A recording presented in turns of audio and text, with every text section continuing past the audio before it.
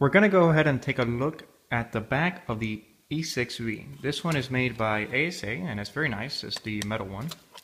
So on the back to find our ground speed and true index we have a set of instructions here that make it real simple and you really don't have to memorize it.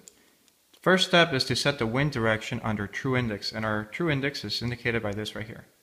Our wind direction for this example is 315 at 15 knots. So we're going to go ahead and rotate the wheel to 315 knots, which is right here. Notice, true index and our wind direction is right under it. So step two is mark wind velocity up from center point. Center point is this little thing right here, the little hole. And people get confused in this section, but it's very simple. I use 100 as a reference. So I put the 100 in the center hole. And then from there, I go and mark my wind speed, which is 15 knots. So 100, 110, and 115, I'm going to go ahead and make a little circle on there, a little dot. And you're going to need to use a pencil for this because you need to erase this and use it for later on.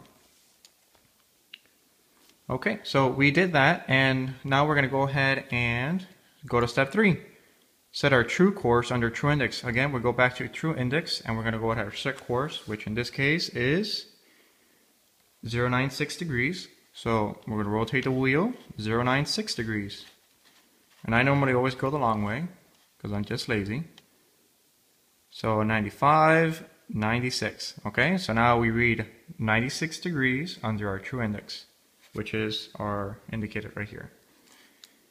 So we go ahead and go to step four. Slide the wind velocity to mark our true airspeed. And our true airspeed for this aircraft is 140 knots. So we're going to slide the back of the E6B till we read 140 knots. So 140 knots is right here. Notice I'm not doing the center point. I'm doing the dot that we marked as our airspeed, uh, correction, as our wind speed before. So 140 knots, we're going to go ahead and put that dot right there. Now our ground speed is going to read under the center. So the center here is reading our ground speed. So our ground speed actually is nice. It's 150 knots.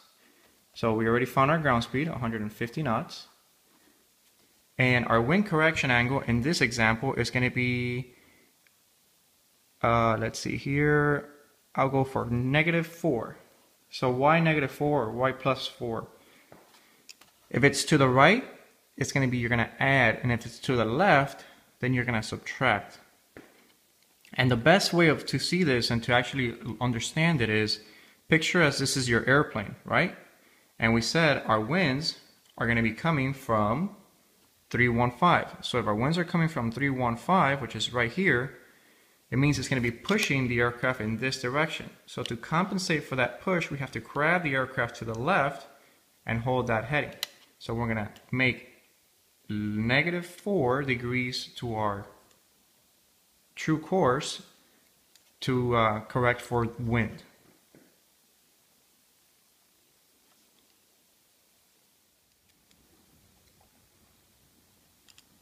Go ahead and now try it yourself. Try for this example wind direction of 076 degrees at 20 knots with a true course of 153 degrees and a true airspeed of 110 knots.